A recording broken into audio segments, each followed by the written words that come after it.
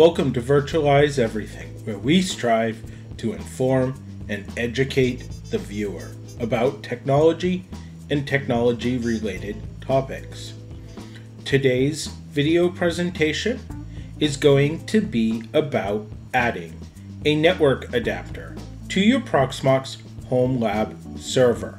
If you would like to know more about the network adapter that Virtualize Everything chose to add to their demo server, please check the links in the description.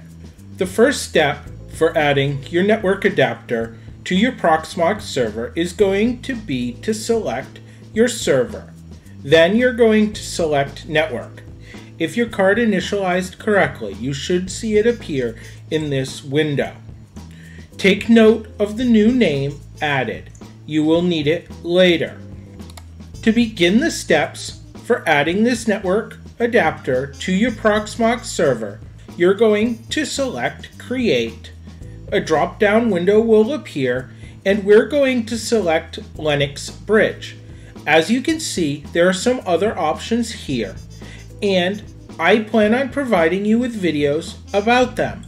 But today, we're going to select Bridge because this is the easiest configuration to get started using our new network adapter.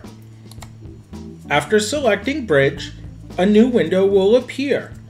Now, again, we can see the new network adapter in the screen behind us grayed out. The same one that I told you to take note of the name before. Enter the name where it says Bridge Port. Where it says name, you can configure, but I would suggest for organizational purposes just leaving it at its default.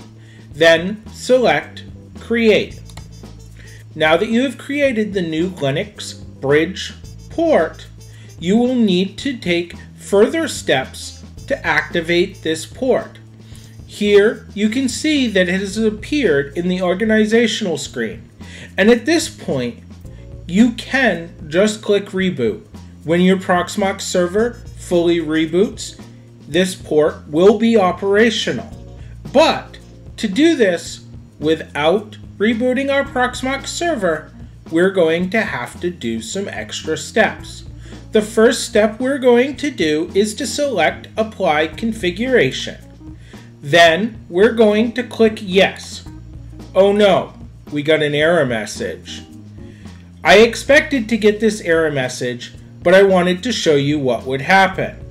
So, to deal with the problem of not being able to activate our new network configuration, we need to close out of this window by clicking OK or the X, and then open our shell terminal.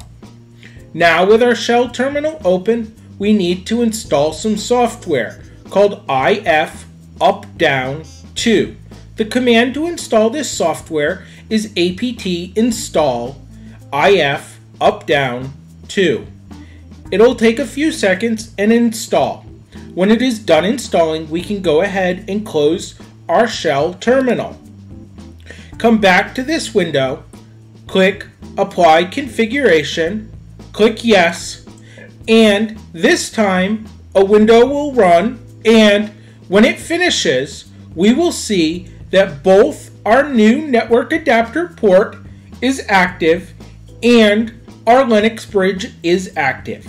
Now our network adapter is ready to use for our projects with our home virtualization lab. As always, I hope you enjoyed tonight's video. Please remember to like, share, and subscribe to help virtualize everything out. Also, I have provided an Amazon affiliate link in my description to the card that we used for this particular setup. Feel free to go check it out. If you purchase anything after checking that link out, part of the revenue will be contributed to Virtualize Everything. That'll help Virtualize Everything buy new stuff to give you better, more informative presentations. Have a good night.